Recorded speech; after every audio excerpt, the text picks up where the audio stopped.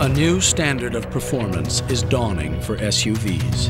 Introducing the new Ford Explorer, built to be the most powerful Explorer ever, while using less fuel.